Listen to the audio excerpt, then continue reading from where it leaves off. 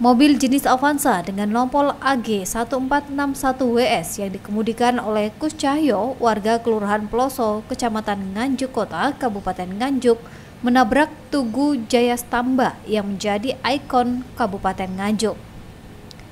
Kecelakaan tunggal yang terjadi di bundaran Jalan Ahmad Yani, tepatnya di depan pos jaga lantas Polres Nganjuk ini terekam kamera pengawas CCTV. Menurut Kanit Gakum Polres Nganjuk, Ibda Ajeng Ayu Ardianingrum, kecelakaan tersebut terjadi pada pukul 02.34 waktu Indonesia Barat Selasa kemarin. Pelaku mengendarai mobil dari arah selatan ke utara dengan kecepatan 50 km per jam. Diduga pelaku mengantuk sehingga menabrak Tugu Jaya Stamba. Usai menabrak Tugu, pelaku langsung melarikan diri. Mendapat laporan ini, polisi langsung melakukan penyelidikan dan menangkap pelaku.